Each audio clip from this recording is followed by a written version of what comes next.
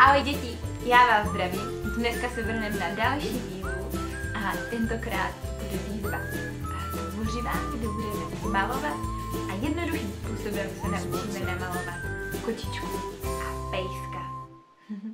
tak jdeme na to. Nachystáme si papír, pastelky a můžeme jít na to. Ehm, bude to jednoduchý způsob, jak krok po kroku a tvar po tvaru eh, zvládnete jednoduše pejska a kočičku. Tak, jak na pejska? Já jsem vám tady rozkreslila ty jednotlivé fáze a výsledný, výsledného pejska.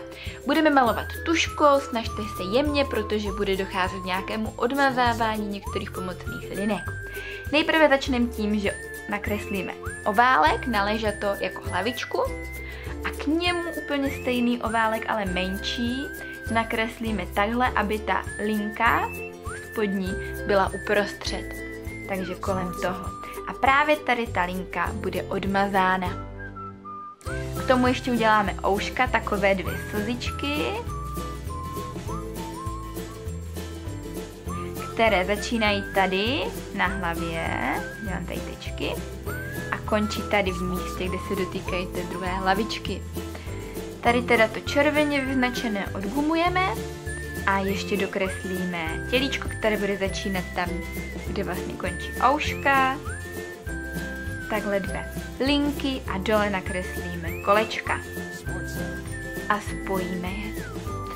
Tady ta část, kde se vlastně e, protíná tady to kolečko toho tělíčka, tak to odgumujeme protože uděláme patičky tím, že kopírujeme tvár jako u kočičky, takže kopíruju, udělám druhé kolečko, to už tam zůstane, kopíruju druhé kolečko a vlastně tady tu část už máme odmazanou. Nezapomeneme na ocásek. No a na závěr domalujeme tlamičku a pejska vymalujeme.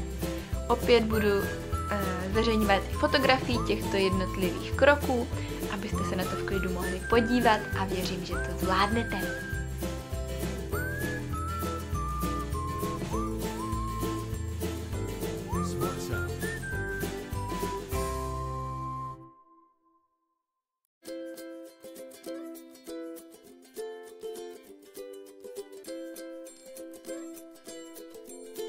Smart Sound.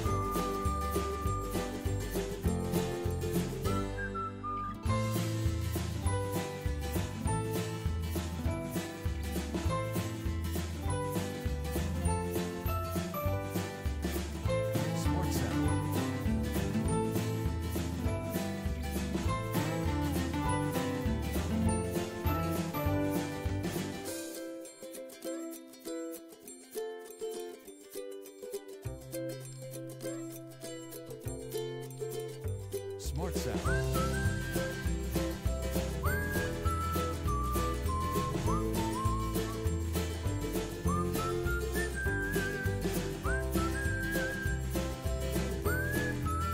Pejsek je hotový. Věřím, že se vám určitě podařil. Teď půjdeme na kočičku. Kočička bude velmi podobná pejskovi, opět jednoduché tahy.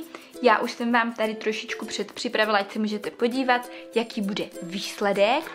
Prvním krokem bude opět kolečko oválek.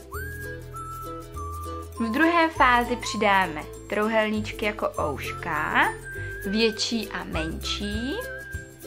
Ve třetí fázi dokreslíme tlamičku očička, čumáček trouhelníček, pusinku a fousky. Ve čtvrté fázi uděláme tady takový lem kolem krku, z něho pak povedeme tělíčko a z druhé strany nožička jedna a úplně stejná. Druhá, drápky jako dvě čárky a ocásek.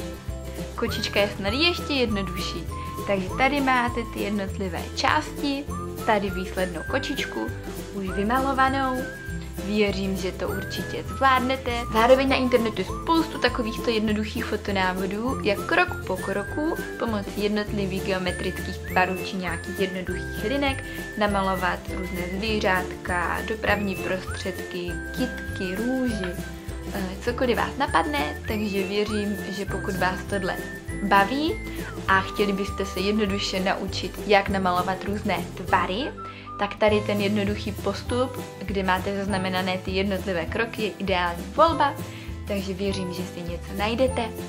Tak jo. Ahoj děti!